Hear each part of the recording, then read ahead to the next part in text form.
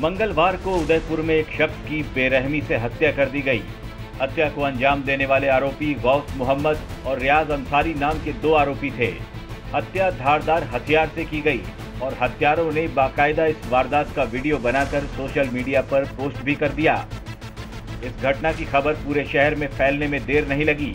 लोगों की इतनी भीड़ जमा हो गई कि हालात बेकाबू होने लगे। मौके पर प्रशासन ने भारी संख्या में पुलिस के जवानों की तैनाती कर दी। बताया जा रहा है कि उदयपुर के रहने वाले कन्हैया लाल के सोशल मीडिया अकाउंट से उनके आठ साल के बेटे ने एक पोस्ट कर नुपुर शर्मा के बयान का समर्थन कर दिया था जिससे नाराज़ कुछ मुस्लिम युवकों ने कन्हैया लाल पर केस कर दिया लेकिन कोर्ट से कन्हैया लाल को जमानत मिल गई। इसके बाद से ही कन्हैया लाल को लगातार जान से मारने की धमकियाँ मिल रही थीं, लेकिन पुलिस ने उन्हें सुरक्षा मुहैया नहीं करवाई। दोनों पक्षों को थाने बुलाकर मामला शांत कर राजीनामा करवा दिया गया। लेकिन इस राजीनामे के बाद कन्हैया लाल के साथ बड़ा धोखा हुआ। कन्हैया लाल कपड़े सीने का काम करते थे।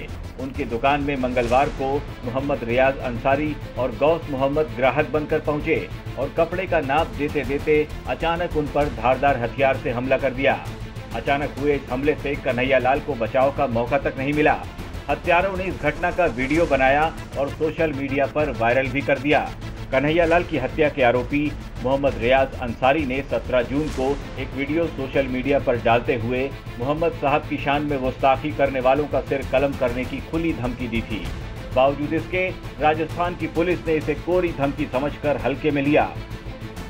और अब तक इस हैवान को खुला ही छोड़ रखा था। अगर वक्त रहते रियाज को गिरफ़्तार कर लिया जाता तो शायद कन्हैया लाल को इतनी बेरहमी से कत्ल न किया गया होता। वालेकुम वरहमतुल्लाहि वबरकातुहू। मैं मोहम्मद रियाज अत्तारी, राजस्थान, उदयपुर खांजीपीठ से। ये वीडियो मैं जुमे के दिन बना रहा हूँ, माशाल्लाह। और सत्रह तारीख है। और दूसरा और मैसेज देता हूँ कि इस वीडियो को वायरल करूँगा उस दिन, जिस दिन सरकार सल्ला वसलम की शान में जिसने गुस्ताखी करी कर दूँगा उस दिन वायरल होगी। इस घटना के सामने आने के बाद मुख्यमंत्री अशोक गहलोत ने इसकी कड़े शब्दों में निंदा की और साथ ही दोनों आरोपियों को पकड़ लिए जाने पर सरकार की पीठ भी थपथपा रहे हैं।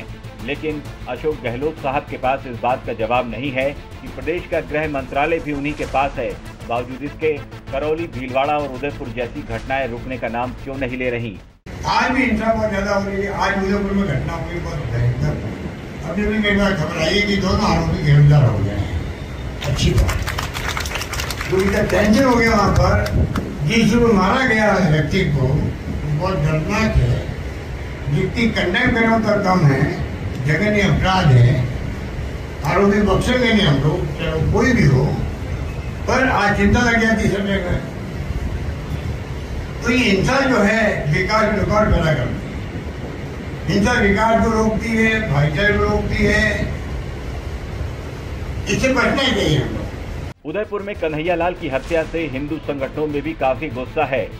वो अब कन्हैया लाल के हत्यारों को कड़ी सजा दिलवाने की मांग साथ ही उनके परिवार के एक सदस्य को सरकारी नौकरी और मुआवजे की मांग पर अड़े हैं। आज हम सब युवा इकट्ठे हैं। एक तो हम इनका हमारी विषय है कि लाश हम तब तक नहीं उठाएँगे जब तक उसके परिवार में बच्चे को नौकरी ना मिल जाए। दूसरी उनको पचास लाख रुपए का मुआवजा दिया जाए।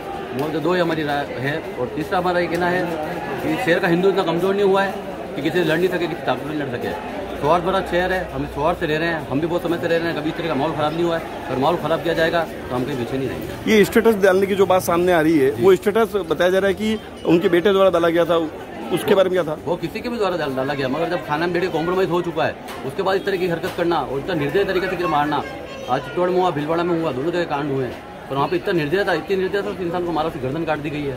और फिर उसके बाद यहाँ पे हम इसलिए विरोध में खड़े हैं ताकि उसके परिवार को कम से कुछ मिले और इस तरह का अगर माहौल है तो ये मैसेज सामने वालों को भी जाना चाहिए कि अगर ऐसा माहौल खराब होता है तो शहर में ऐसे हिंदू युवा है। नेता प्रतिपक्ष गुलाब चंद कटारिया ने तो इस तरह की घटना के पीछे किसी बड़े गैंग का हाथ होने की आशंका जताई है। कटारिया ने सरकार से सख्त कार्रवाई की मांग की है। एक बहुत ही हृदय विदारक और शर्मनाक मर्डर हुआ है। और मैं सोचता हूँ उसने अपना वीडियो भी वायरल किया है। सत्रह तारीख का भी वीडियो वायरल हुआ है और आज जो मर्डर कर रहा है, उस मर्डर का भी वीडियो वायरल हुआ है। और मैं सोचता हूँ कि ये कोई तो भी गैंग होनी चाहिए, क्योंकि बिना किसी इस प्रकार की गैंग के, इस प्रकार का मर्डर, इस प्रकार की घटना को लेकर के नहीं हो सकता है। आप सत्रह का वीडियो भी सुनो और अभी का वीडियो भी आप सुनोगे तो आपको सारा विषय समझ में आएगा। उदयपुर में घटित हुई इस विभत्स घटना के बाद ज़िले के एसपी और कलेक्टर ने लोगों से शांति और भाईचारा बनाए रखने की अपील की है। उदयपुर, जोधपुर समेत प्रदेश के कई जिलों की इंटरनेट सेवाएँ ठप कर दी गई हैं, ताकि किसी भी किस्म की अफवाह को फैलाए जाने से रोका जा सके। हाथीपोल में आप आज जो घटना है, उसके बारे में आप भली बात परिचित है। मैं सभी, हमारे जो नागरिकों से अपील करना चाहूँगा कि कानून अपना काम कर रहा है, अपराधी की कोई जाति नहीं होती है।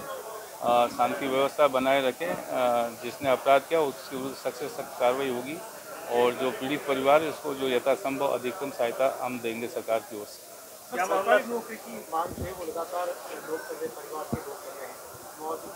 वो एच पर रूल जो प्रावधान है उसके अनुसार कार्रवाई होगी। अपील सबसे पहले तो अपील ये है कि जैसे साहब ने बताया अपराधी की कोई जाति नहीं होगी होती। जो भी अपराधी है हम उसको बंद करेंगे। चाहे उन्होंने भड़काऊ वीडियो डाला हो, चाहे उन्होंने ये घटना कारित करी हो। उनमें किसी में कोई ढील की या कोई कोताही की गंजूस गुंजाइश कतई नहीं है। बिल्कुल सख्ती से कार्रवाई होगी। साथ ही मैं सबसे अपील करना चाहूँगा कि चूँकि ये इस तरह की घटना हुई है, वास्तव में नृशंस हत्या हुई है, इस घटना में हमें आगे कार्रवाई करने के लिए तभी पर्याप्त समय मिल पाएगा जब हम कानून व्यवस्था की स्थिति से हम बेहतर तरीके से डील कर लें। कन्हैया लाल की मौत से लोग बेहद नाराज़ हैं। धान मंडी और घंटाघर थाने की पुलिस मौके पर बड़ी संख्या में तैनात है। दोनों आरोपी गिरफ़्तार हो चुके हैं लेकिन अब भी लोगों का गुस्सा थमने का नाम नहीं ले रहा। हालात फ़िलहाल काबू में हैं, लेकिन जिस तरह से धोखे से कन्हैया लाल का कत्ल हुआ है उससे हर कोई ये सोचकर स्तब्ध है कि आखिर मज़हब की आड़ में कोई शख्स ऐसी हैवानियत कैसे कर सकता है। राजस्थान तक के लिए उदयपुर से धीरज रावल की रिपोर्ट।